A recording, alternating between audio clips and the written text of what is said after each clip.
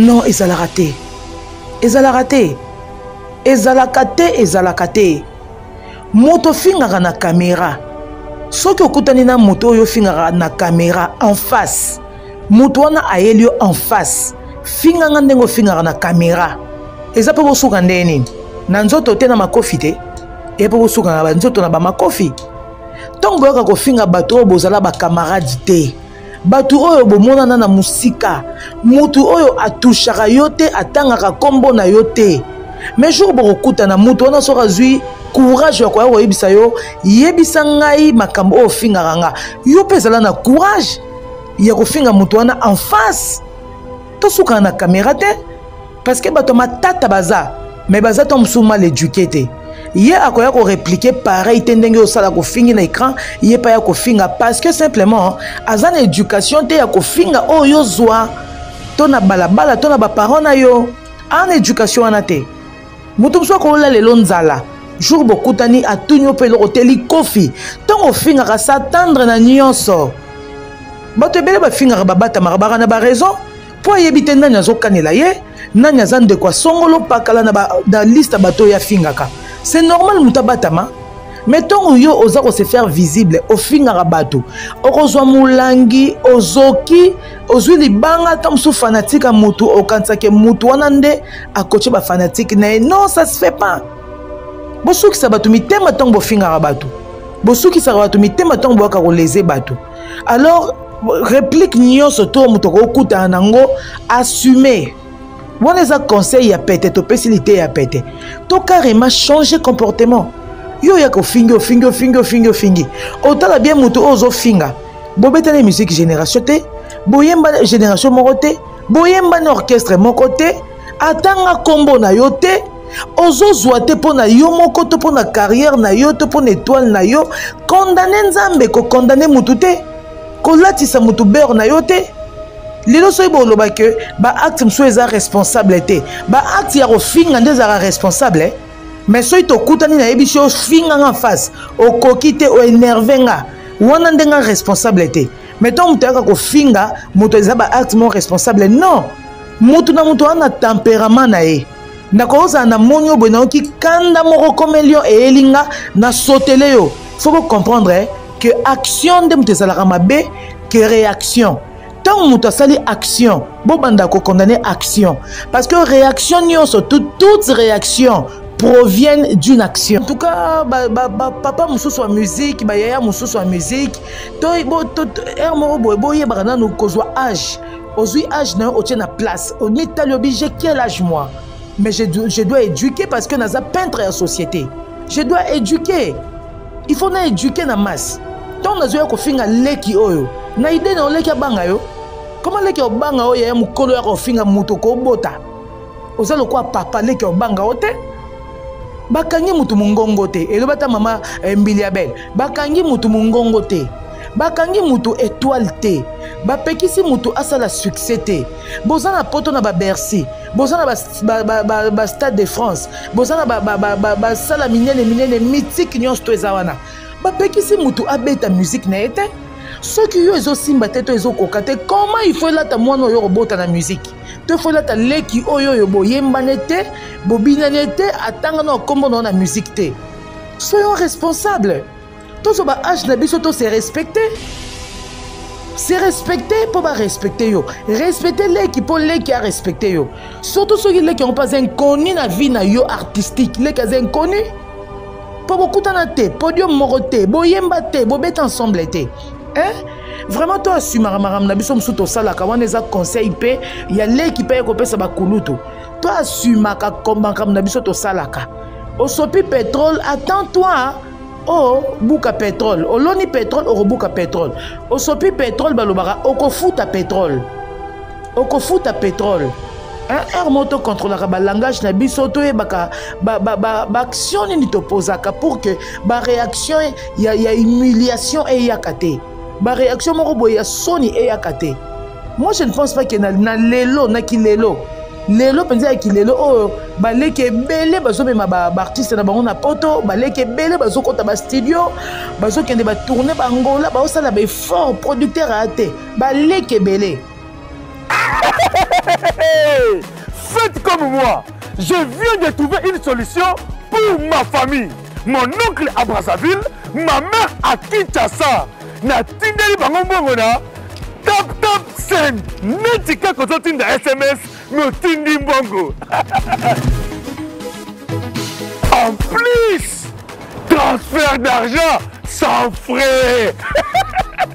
hmm. neti kaka na croix rouge faites comme moi botelecharge application na bino ya taptap send kaka na telefone na yo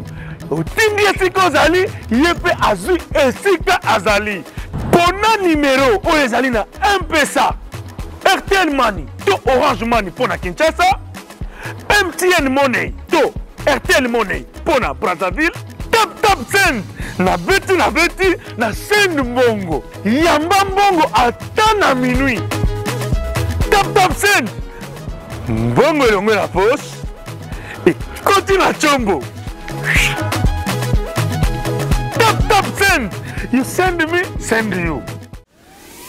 Accélération divine, ma nouvelle saison. Accélération divine, ma nouvelle saison, à Bruxelles, du samedi 2 au dimanche 3 juillet 2022, rue Birmingham, 112, 1070, Anderlecht, référence métro de la Croix. Au programme, comme orateur, l'apôtre Jean-Clément Djambilay de la RDC, comme hôte, le pasteur jumeau Jean Bosco Cancou et le révérend Raoul Wanfo de la Côte d'Ivoire la louange et l'adoration pour célébrer l'Éternel avec l'évangéliste Thomas Locofé, la sœur Sandra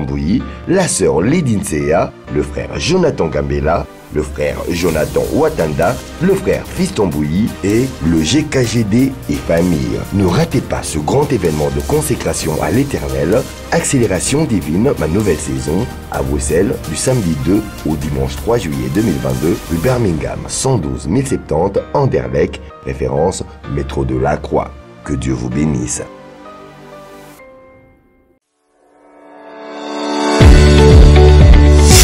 Paris, Belgique, Brazzaville et Kinshasa, DS Champagne vous accompagne lors de vos événements avec un service d'hôte et d'hôtesse pour une dégustation de nos crus d'exception, finesse et d'élégance.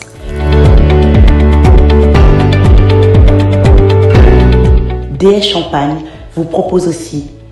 la vente de ses produits en gros ou au détail. DS Champagne luxueux de Paris, DD Samba.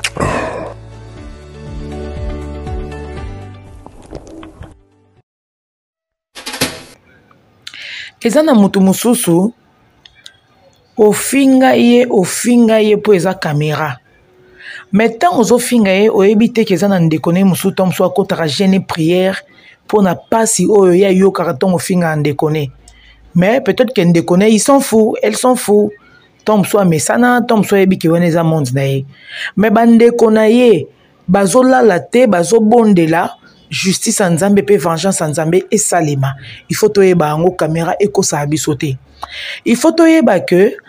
bandeko ebele oyo tolobaka ke bakufa mpona baguerre ya musike to mpona baguerre ya bawenge bango banda oyemba te bandeko na bango nde babanda koyemba me eloko nini esalaki bato babomana bato bakatana bato bakabwana eza mpasi ya bondeko ntango ozofinga ndeko na ye ya supporte te ake aluki mpe ndeko na yo to aluki mpe fanatike na yo babebani babendani c'est pour dire quoi c'est pour dire que bamakambo mosusu tosalaka tosala yango na sentiment mai toyebaka to mosusu baconséquence na yango te fo tosalaka ngele vie eza moko e mokili eza ya mutu te moto akokanga moninga espace aza te d'autant plus que biso nyonso tu tolamukaka na pema nzambe na vie totalelaka nzambe besheke na biso toyaka kolatisa yango bato te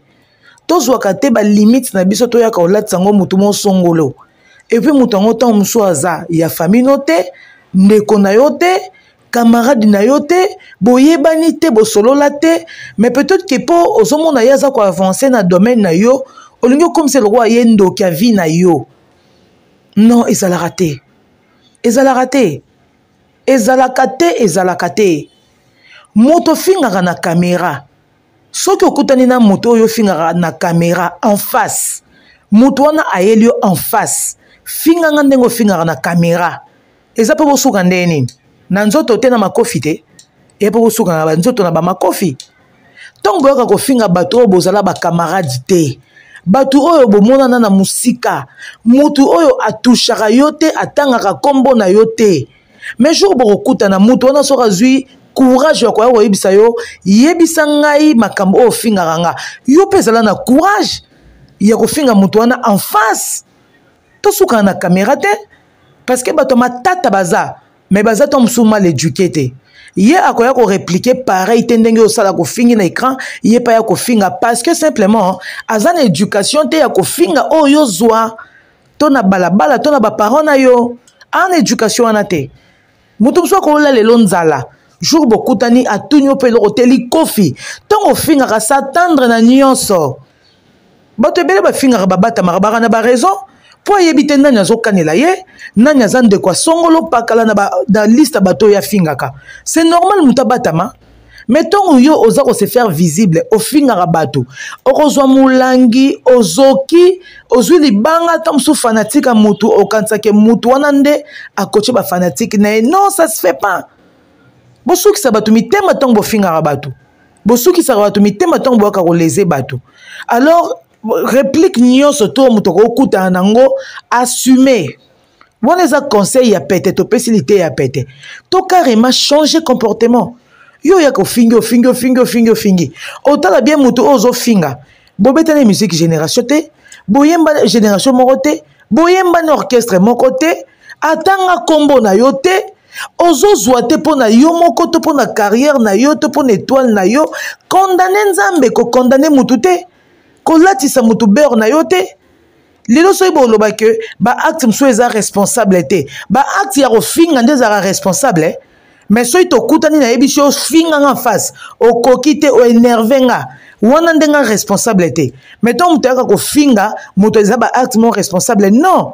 moto na moto wana temperament na ye ndako ozala na moni oyo boye nayoki kanda moko komeli yo eyeli nga na sotele yo fo bocomprendre eh? que action nde moto ezalaka mabe que réaction ntango moto asali action bobanda kokondane action parce que réaction nyonso toutes toute réactions proviennent d'une action toutes réactions proviennent d'une action mais souvent bato bazala na tendance ya kokondane baréaction olie bato batala baaction nini moto asalaki vraiment liteya pete tokomi na 2022 mutu na mutu quand même asokipe na makambo na ye soki ozo réussir te eza faute ya mutu te na vie luka nzambe tosilikela nzambe nzambe bandanga na banda otalela yo banda na banda opesa confiance na yo tosilikela nganga oyo okotaka nganga ye eh, ndeni bandanga napesa yo confiance osala makambo oyo oyo ezosimba te osala makambo oyo ti lelonga na ozwa te kosilikela mutu te kosilikela mutu te hein? en tout cas ba, ba, ba, papa mosusu ya musike bayaya mosusu ya musike to ere moko boye boyebaka nanu kozwa age ozwi age na yo otie na place omitali obi je quel age moi mais je, je dois éduquer parce que naza peintre ya société je dois éduquer il faut na éduquer na masse ntango nazoya kofinga leki oyo na ide na yo leki abanga yo koma leki ya obanga oyo yaya mokolo ya kofinga moto kobota oza lokola papa leki ya obanga o te bakangi motu mongongo te elobi ata mama eh, mbili ya bele bakangi motu mongongo te bakangi motu etoile te bapekisi motu asala succès te boza na poto na babercy boza na bastade ba, ba, ba, ba de france boza na basala ba, ba, ba, ba minene minene mythique nyonso to eza wana bapekisi motu abeta musike na ye te soki yo ezosimba te to ezokoka te comment il faut elata mwana oyo okobota na musique to faut elata leki oyo oyo boyembane te bobinane te atanga na okombo na yo na musique te soyons responsable tozwa ba age na biso to se respecte se respecte mpo barespecte yo respecte leki mpo leki arespecte yo surtout soki leki yango mpe aza inconnu na vie na yo artistique leki aza inconnu mpo bokutana te podium moko te boyemba te bobeta ensemble te eh? vraiment to asumaka makambo na biso mosusu tosalaka wana eza conseil mpe ya leki mpe ekopesa bakulutu to asumaka makambo na biso tosalaka osopi petrole attend toi obuka petrole oloni petrole okobuka petrole osopi petrole balobaka okofuta petrole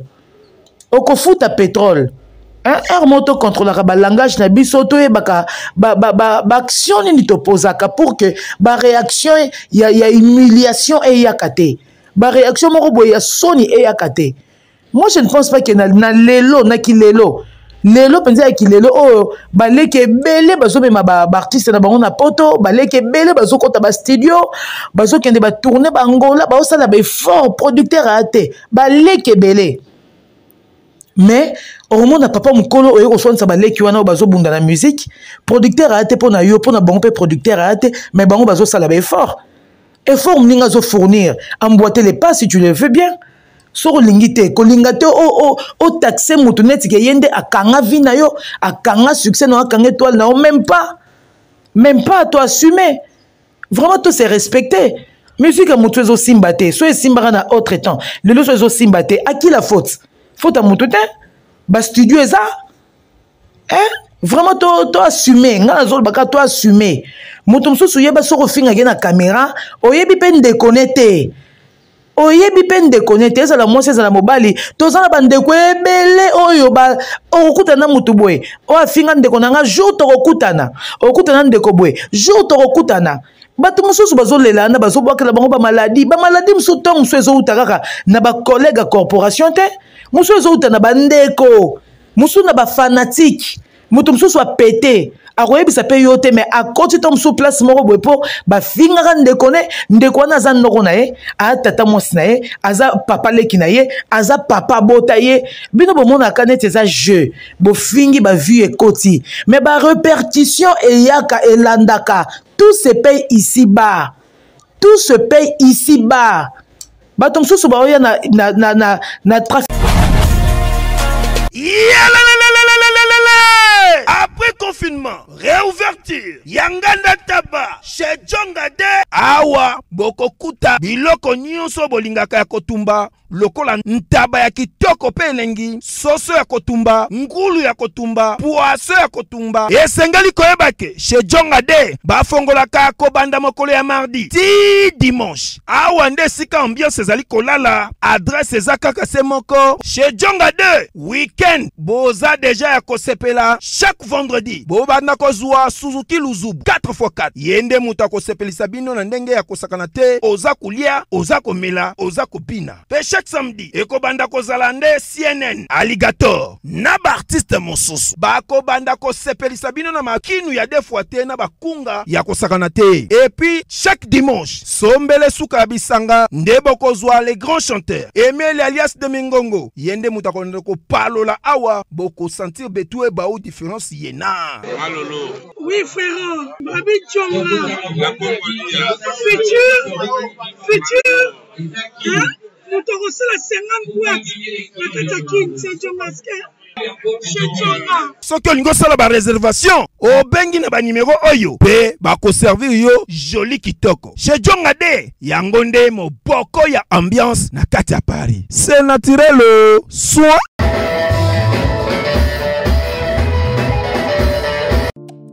Je suis docteur Pichutunele, pharmacien de formation. Je suis formé à l'université de Kinshasa à la faculté de pharmacie. Et puis je fais d'autres masters en transformation des agro-ressources à l'université Marien Wabi et au Canada en préparation de cosmétiques thérapeutiques naturelles. Et c'est ce qui fait la différence du laboratoire CRMTA avec le tradit praticiens, c'est que nos produits subissent différents tests, de tests toxicologiques et de tests des essais cliniques. C'est ce qui nous différencie euh, des autres euh, tradithérapeutes. Au CRMTA, nous produisons de médicaments à base de plantes médicinales et la spécificité, ce sont des plantes médicinales du Congo qui nous permettent d'obtenir ces différents produits que vous voyez. Et nous sommes situés euh, sur l'avenue de l'université numéro 123. La référence est l'arrêt Capella 2. Et là, vous demandez la centrale de distribution Méavicil et Thiazostimule. Et nos numéros de contact sont affichés sur le bas de vos écrans. Au CRMTA, nous avons deux branches. Il y a la branche cosmétique et la branche médicaments. Dans le cosmétique, nous avons d'ici au collagène pour le traitement de tampons, de rides, de cernes, de poches. Et on l'utilise avec son sérum et le savon. Nous avons d'ici réparateur pour le traitement de boutons et de tout ce qui est problème au niveau de la peau. Ça n'est pas votre peau et on l'utilise avec son sérum et son savon aussi pour faire associer le gel douche fait à base de papaye. Nous avons Dulcie euh, cheveux, crème cheveux qui favorise la repousse de cheveux abîmés euh, pour les cheveux colorés. Ça retarde la repousse de cheveux blancs. Vous pouvez l'utiliser avec l'huile et son shampoing. Nous avons également Dulcie parfum qui est fait à base de plantes médicinales, des huiles essentielles et qui a une particularité de pouvoir réduire le stress. Et dans la branche médicaments, nous avons Méamicine, sirop et comprimé, qui traite les amibes, les levures, qui est un antipoison efficace aussi. Nous avons Diazostumide, qui traite les différentes formes d'impression sexuelle. Nous avons cité l'éjaculation précoce, les dysfonctionnements érectiles, la le manque de libido, euh, la fragilité euh, chez la femme, la stérilité secondaire et chez l'homme et chez la femme, nous avons Zinginalis comprimé et Zinginalis suppo qui traitent les différentes formes d'hémorroïdes internes et externes. Nous avons Sensifos qui traite la malaria. Nous avons Diazonex euh, Diazolex qui traite les différentes euh, euh, formes de douleurs rhumatismales, douleurs au niveau du dos, allergies au pollen. Nous avons Méamicine crème qui traite les différents problèmes de la peau, entre autres les eczémas qu'on appelle communément les lingala maladie MPC le mapalata, tout ce qui est euh, problème de la peau, le scoriasis. Nous avons euh, diabéwine qui traite le diabète. Nous avons Allium qui traite l'hypertension. Nous avons la crème Borex pour rallonger et puis euh, donner le volume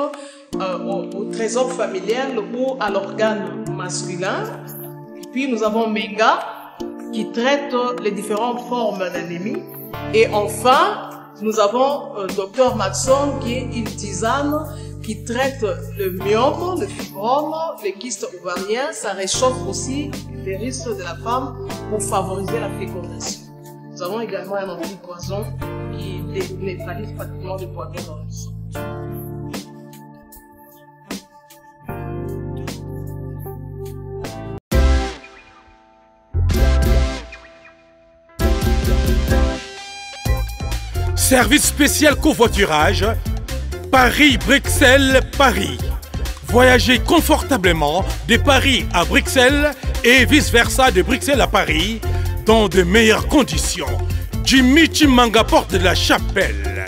Contactez le service covoiturage Jimmy Chimanga Paris porte de la chapelle. Composez vite le plus 33 7 87 76 95 65 pour toutes vos démarches afin d'obtenir le passeport Yabanamboka à Bruxelles dans un délai raisonnable. Confiez-vous à Jimichi à porte de la chapelle. C'est sérieux et c'est efficace. trafic d'influence moto mosusu aye devant caméra boye aye neti kosa neti rien n'était mais na propre vie na ye peut-être ke eza na eloko moko ezo marche te ezo marche te pourquoi parce que yo so ofinga oleka nzela mais ya na moto wana ntango mosusu mpe abosana mais nzambe abosana te mpo aza juste juge nzambe abosana te mpo aza juste juge to asumaka makambo tolukaka to asumaka barepercussion bavengeance mosusu ezokomela bato mosusu eza nzambe nzambe nde moto azofuta moto mosusu makambo ekomeli ye na vie aza bloke mais soki aye na, na caméra aosa semblant mais au fond d'elle au fond de lui peut-être ki alelaka non tobanga bato tobanga bato tomibanga tobanga mpe makambo parce que ekofutama na lola te ekofutama kaka awa na se na mokili oyo vraiment ezalaki liteya ya pete astrid yende ozalaka toujours nanga eya baconseil topesanaka nga no mwana mare tobanga makambo vie nanga prince engalie masele l'homme parmi les hommes bos me okokuta nulle part okebanda motu likambo mpo ayebi te moto wana place nini akokotela ye akoki kota na molili mais soki eza malédiction avec cause okozwa ko oyo mpenza moto akosengeli otopa nzambe topa nganga okozwa tokosa liboma te eza na bandeko mosusu baa na bandeko na bango baa bakonzi bateyaka bango neti babiso oyo nana so oza na problème monanga mais à condition ozala na raison mais c'est pareil mpa nzambe à condition ozala na raison nzambe ajustifie yo e ata mpa nganga mpe zala na raison mpo eloko bakobwakela yo ezwa yo te eloko bakobwakela yo ezwa yo te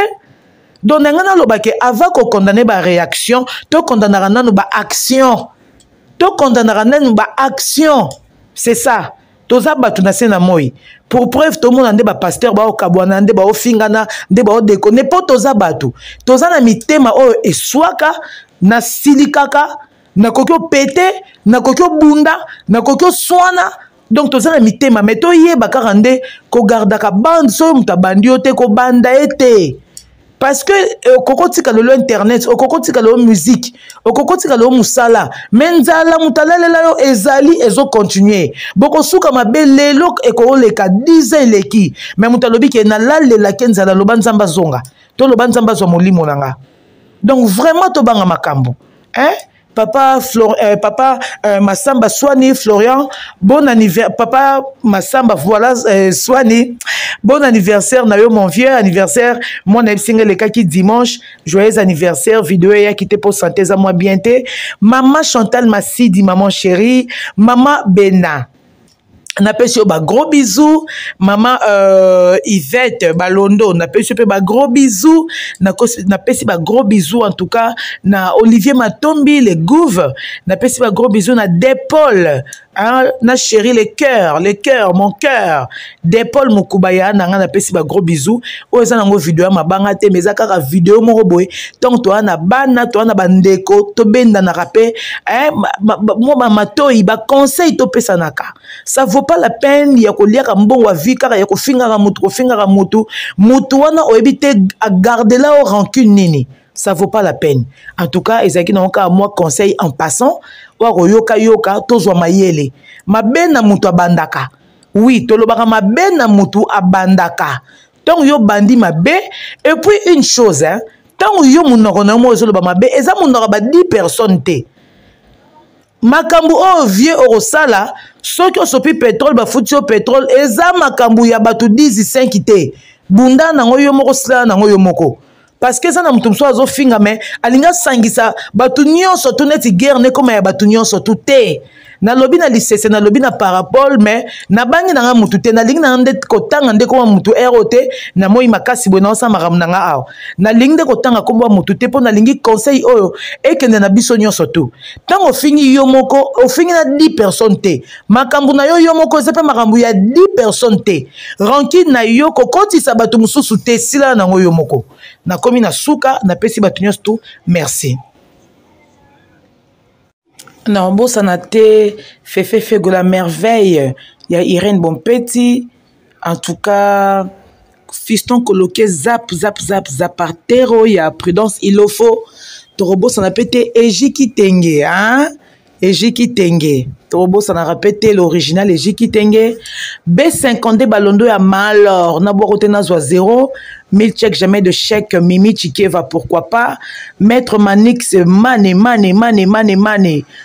anzolo aganya bango ntongo cyprien tokobosanaka te napesi mbote na bawarrior nyonso tu nyonso tu oyo baza mobilise déjà mpo na euh, stade de martyr oyo bazofuta babillet oyo déjà baza kosomba ba t-shirts na bango neti bamanene na canada baxavier koto na kin mobilisation na lubumbashi bato baosomba ba t-shirt na bango mpo na stade donc tobosani te topesi bino nyonso tu bambote ebele kua donc euh, botali video oyo boyoki nga kaka bomoni ngai te sule kauka par zuzu hein, donc ya christelle topesi bato nyonso tu oyo batali biso bambote ebele ezalaki ka